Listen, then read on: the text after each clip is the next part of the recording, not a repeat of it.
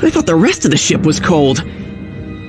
Those heat exchanger columns must keep the hot air out. That's why it's so cold in here. The hybrid are weakened by heat. Well, at least nobody's home. I can just activate the last of the autopilot panels and be on my way. And those panels must be... on the ceiling! I guess I have to start thinking in zero gravity terms. Maybe that switch does something that allows the crew to get to those ceiling controls.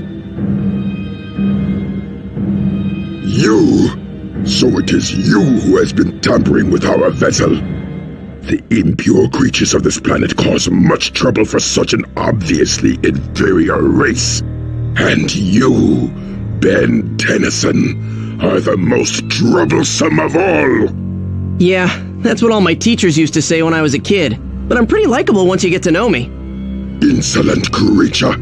You shall pay the price for meddling in the affairs of superior beings. If I can find a way to expose the hybrid to heat, it might slow him down. Mm. Weak, pathetic insect.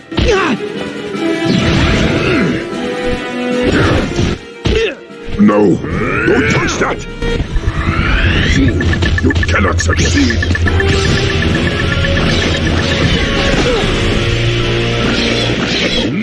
No life form in the universe is a match for the hybrid.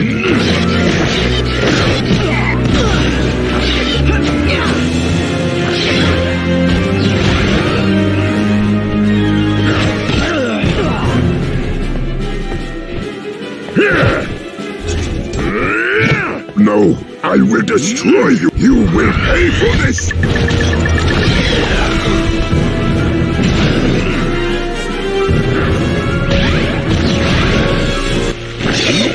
Will destroy you.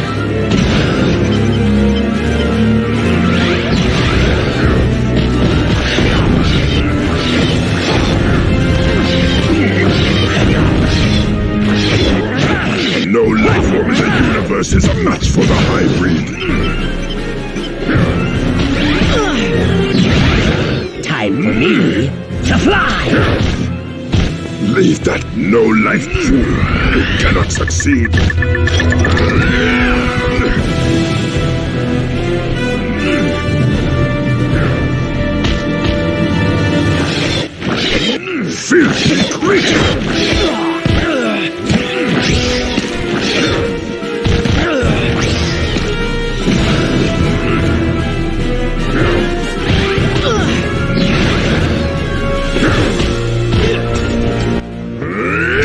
activate that gun! Feel get him!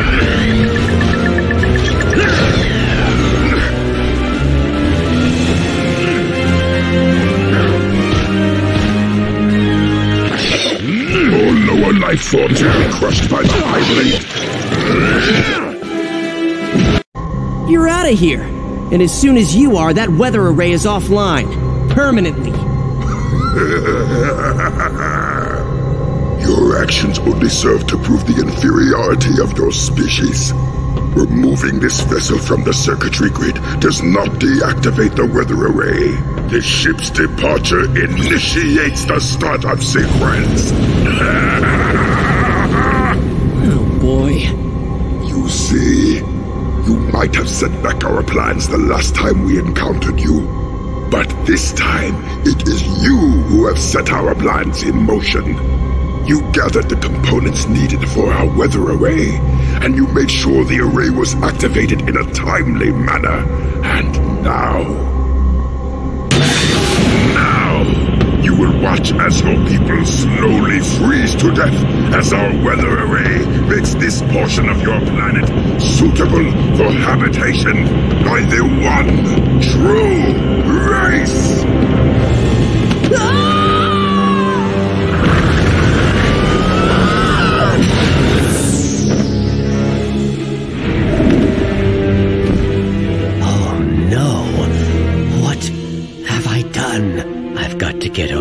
Weather array and help Gwen and Kevin destroy that thing before it's too late.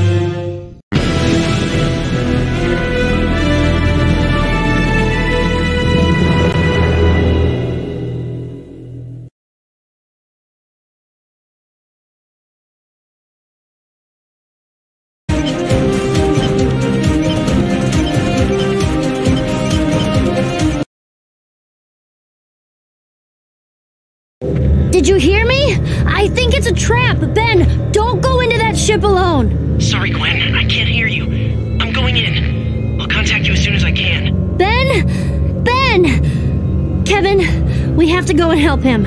I don't know if that's such a hot idea.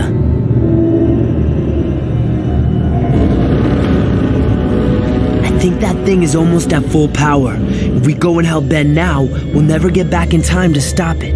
That's probably the control room floating up above the array. I don't see any way to get up there. What should we do? Go after the towers, I guess.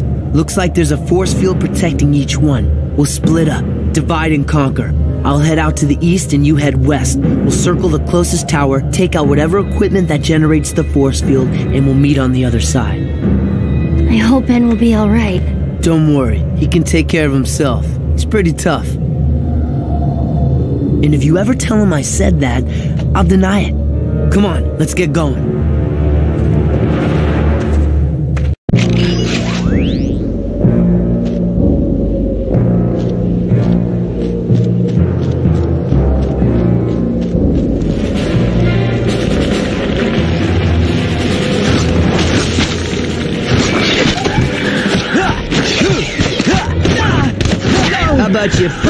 Next time?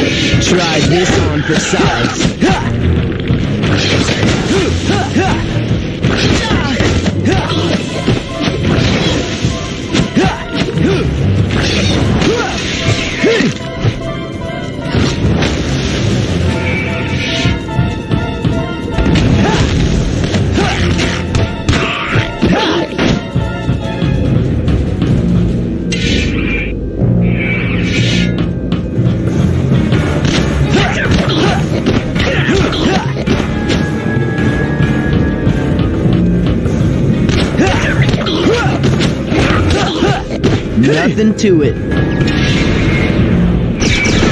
Okay, now you're in trouble.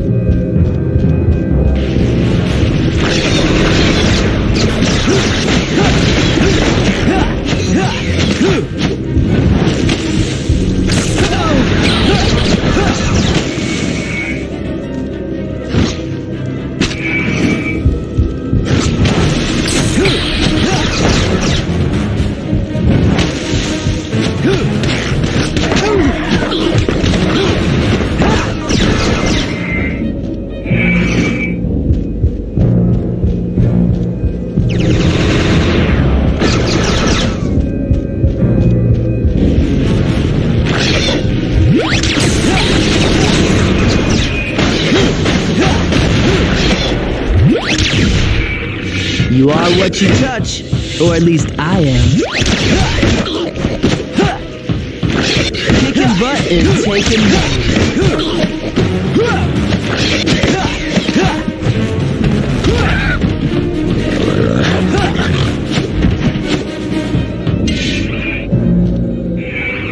Try this on for size.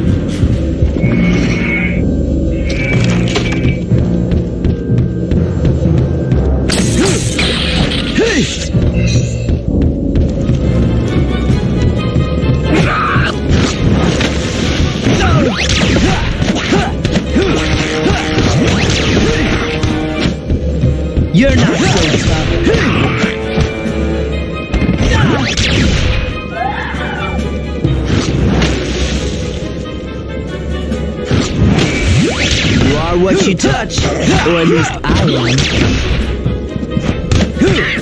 am.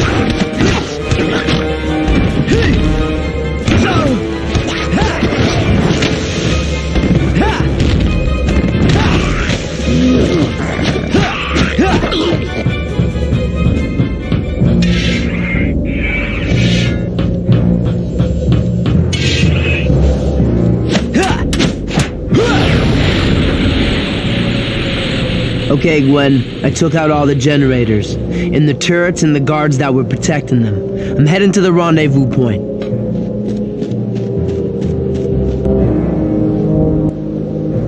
How are you doing? Um, I've been better. Can't talk now. I've got company. Be there as soon as I can.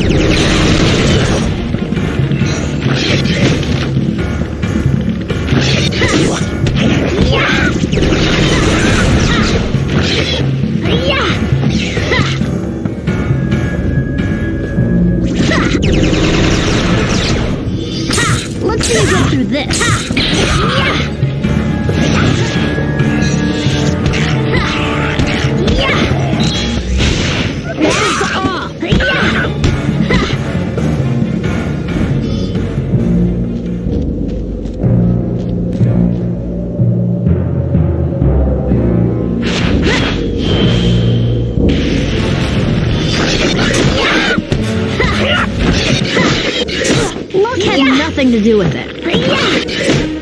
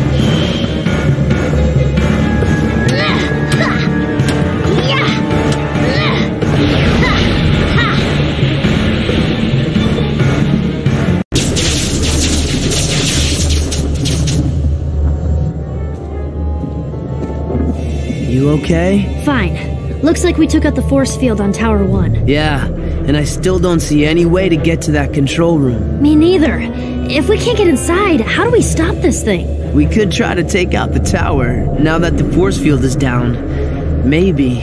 Uh, No way. Even with our combined powers, we can't destroy that thing. It's just too big. Did someone say big? about time you got here, we were starting to think we'd have to do all the work around here. Ben, you have to hurry. If you don't destroy those towers soon, I don't know if we'll be able to reverse the damage. No problem. I got this covered.